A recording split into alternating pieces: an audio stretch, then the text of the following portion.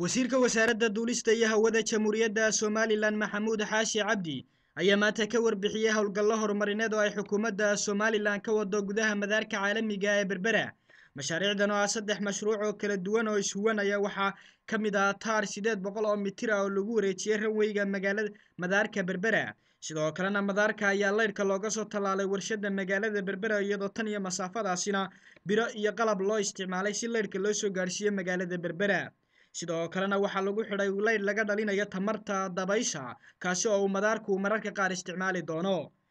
Sidoo kalena waxaa lagu xidhay qalab casri ah oo lagula soconayo hawada iyo tambareejarka guud ahaanba madaarka iyo sidoo kale duulimaadyada hawada maraya. Qalabkaasi oo isagana madaarka berbere lagu xidhay sidoo kalena lagu xidhay madaarada kale ee hargeysa burco iyo boorame wasiirka wasaaradda duulista iyo hawada somalilan maxamuud xaashi cabdi oo ka warbixinaya mashaariicdaasina waxaa hadaladiisii ka mid ahaa.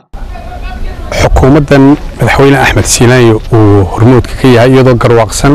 muhiimadda ay qarankan ugu fadhiyaan eerboodho wanaagsan oo la sameeyo si ay u kordhiyaan dhaqaalaha ganacsiga isugu gooshka dunida.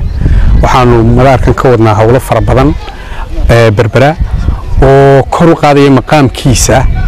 heer nabadgelyo iyo hadday tahay dhinacyada adeega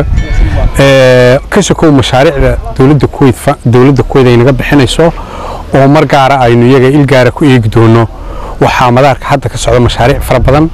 oo ay ka mid tahay ilaa iyo magaalada berbera warshadda laydhka oo aanu ka soo qaadnay laydh toos uga yimaada oo aan ahayn mishiinada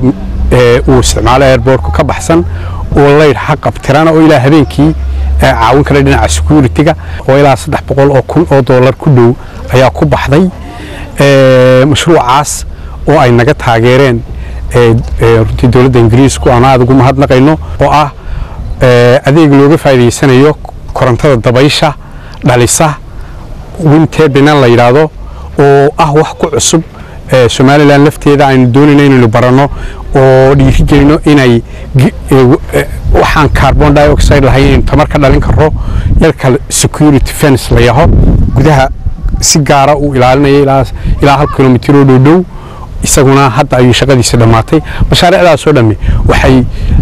dardar gelinayaan adeegyadii magaalada madaarka berbera. Cabdikariim siciid saalax telefishinka caalamiga ee honkebel t v berbera